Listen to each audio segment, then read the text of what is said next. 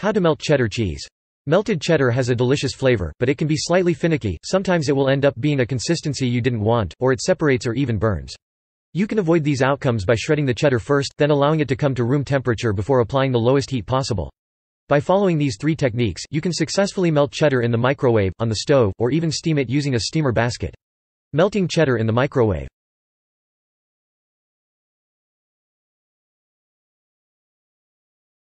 Start with mild or sharp cheddar. Cheddar cheese can be labeled mild, sharp, or extra sharp. The level of sharp indicates how long the cheese has been aged. The amount of aging increases as you go from mild to extra sharp.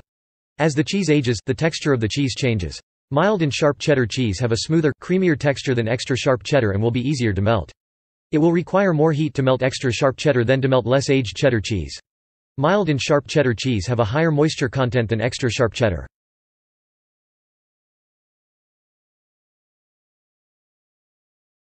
Shred the cheese. It is best to shred the cheese while it is still cold.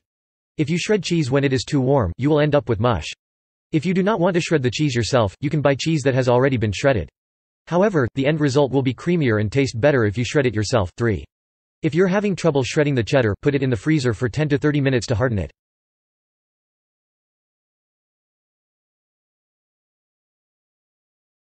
Bring the cheese to room temperature.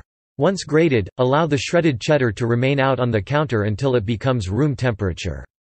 Doing this will lessen the length of time you'll have to expose the cheddar to heat before it melts. Overexposure to heat will cause melted cheddar to become unpleasantly rubbery or greasy, so the less heat you have to use, the better. Place the cheese in a microwave-safe bowl. Pile the shredded cheddar into a bowl that can easily hold all of it, with room to spare. Do not place the cheese on a plate, when it begins to melt, it will run off the plate and you'll have a melted mess to clean out of your microwave. Set the microwave on low heat for 15 seconds. Place the bowl of shredded cheese into the microwave. Close the microwave door. Use the lowest heat setting that your microwave has. Cheese prefers to be melted at the lowest heat possible. Heating cheese at high temperatures sucks the moisture and fat out of the cheese. This will result in clumpy and or greasy melted cheese. 6. Continue with 15 to 30 second intervals until the cheese is melted. After the first 15 seconds, pull out the bowl and stir the cheese. Place it back in and set it for another 15 seconds. Continue in this manner until the cheese has reached the desired melted consistency.